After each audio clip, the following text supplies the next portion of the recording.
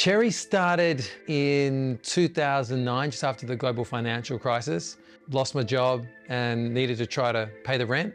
Happened to stumble across trading cards at a local market and uh, after a little bit of online research, discovered that there might be an opportunity to do something like that in Australia. After working out how to build a website and getting all my stuff listed on eBay, Cherry began.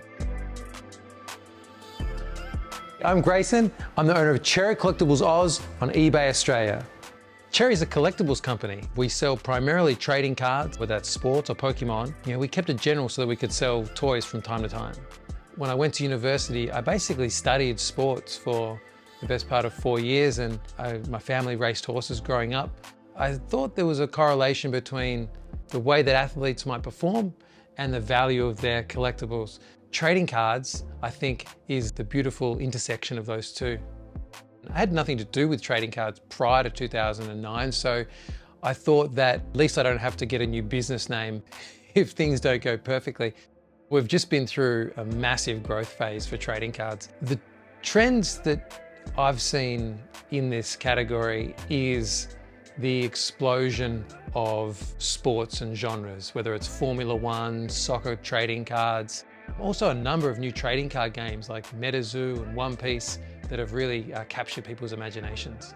What I love about the eBay marketplace is that it's easy access to tens of millions of consumers.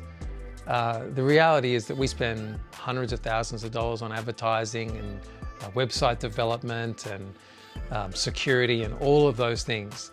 And at the end of the day, uh, we still get not nearly as many people that are uh, interested in our products to our website as what hop onto eBay every few minutes. We've had hundreds of thousands of fantastic customer experiences. I think that's one of the reasons why people keep using eBay and why we keep selling on eBay. The first thing I would say to anyone who's thinking about selling online is to try your product on eBay. I find that it's a fantastic model for testing new products or emerging markets. We've got products every day that sell on eBay that I still haven't been able to convert on my website.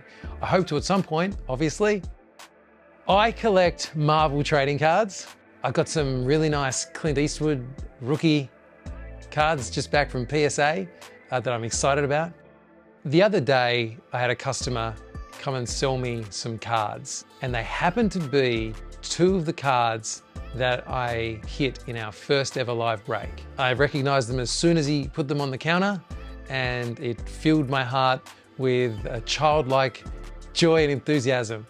It's a full circle and that's kind of what collecting trading cards is. I mean, the reason that everyone is buying Pokemon now is that they were buying Pokemon when they were kids. That cyclical nature of collectibles keeps customers finding happiness every other decade.